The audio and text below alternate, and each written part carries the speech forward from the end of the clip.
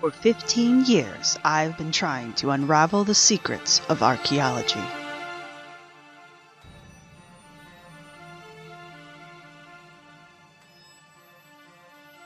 I've searched all over the Midwest and Mid Atlantic looking for archaeology. Driveway, I don't remember this from last time. Now, I've put together a crack team of archaeology investigators. And we're going to take you with us as we explore further to find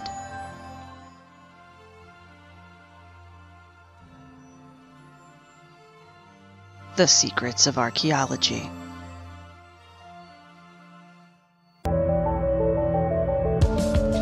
The 1900s saw the professionalization of the field of archaeology.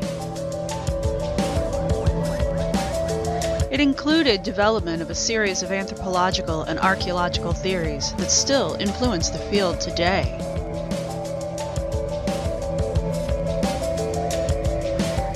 How do we see the changes in archaeology from the 1800s to the 1900s?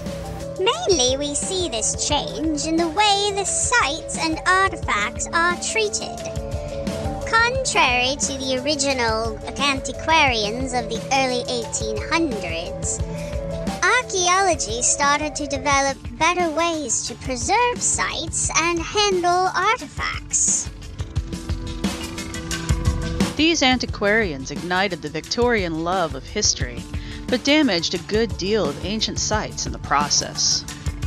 Could archaeology develop enough as a field to protect future investigations? The archaeological record isn't what some people think. There are those who believe that archaeology holds mysteries and secrets to a suppressed past. Could alternative archaeology be uncovering these curiosities? Or can science and archaeology explain the seemingly unexplainable? We've made it our mission to look into the claims of alternative archaeology and evaluate the evidence they present. We'll compare it to actual scientific archaeology and see which can give us a more realistic interpretation of the past. I'm professional archaeologist Sara Head, and this is forensic cat inspector Bragnir Thrandrel. We're going to put alternative archaeology under our lens and see how it holds up to reality. Archaeological Fantasies presents Curious Archaeology. Originally, the snatch and grab antiquarians of the early 1800s would go into foreign, often colonized countries and bring back anything that seemed of value or was impressive. They had little or no care for the overall structure of a site, and they were known for creating extravagant claims and tales to thrill their friends and patrons back home. Early archaeological theory revolved around ethnocentrism and exoticism. Early explorers and antiquarians liked to regale their fans with stories of savages and pagans that they encountered on their travels. Most often, these stories ended with said pagans and savages converting to Christianity at the hands of said explorer. Archaeology was likewise used as a way to bolster biblical truth, and it looked for evidence of biblical catastrophes like the Great Flood. First early assumptions of archaeology was that the Bible was indeed fact and that all archaeology should reflect the historicity of the Bible.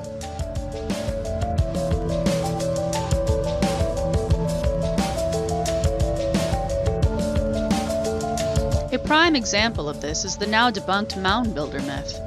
When white settlers first started to come into the Americas, they couldn't help but notice the massive and impressive earthworks that dotted the land.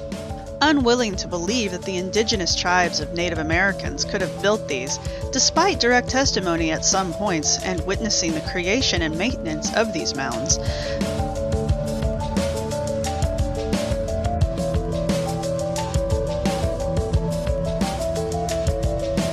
settlers began to create their own stories that included lost tribes of Israel, Vikings, Celts, and even giants. The publication of Darwin's On the Origin of Species in 1859 changed a number of fields, including archaeology. The idea that sites and artifacts could be connected to non biblical sources was an idea that had been floating around for a while. But with Darwin's new theory out in the public eye, now their ideas had teeth. Yes. Good old Darwin. Darwin never got anything wrong.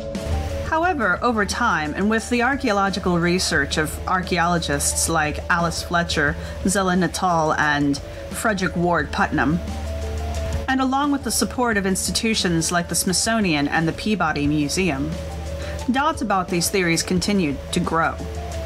Finally, by the late 1870s, a researcher by the name of Cyrus Thomas, who was funded by the Smithsonian Institution, was able to definitively put out a report that said that there was no discernible physical difference between the people who built the mounds and modern Native Americans. But why did it take so long for European Americans to recognize the work of Native Americans?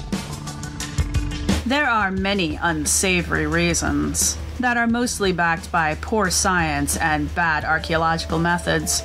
Systematic archaeology and the understanding and application of stratigraphy, along with the application of chronological analysis, help dispel offensive and inaccurate theories about the origin of the mounds, and gave archaeologists a fuller picture of the past.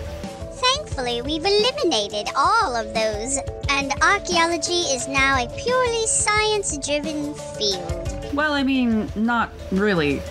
Archaeology still has a lot of issues it's trying to work through, not the least of which is its own origins. What we can say is archaeologists today are aware of them and are actively working to overcome them. Developing our methodology and techniques has gone a long way, as has becoming aware of our biases. But is that really enough? Techniques alone were not enough. Into every scientific field, a little theory must fall.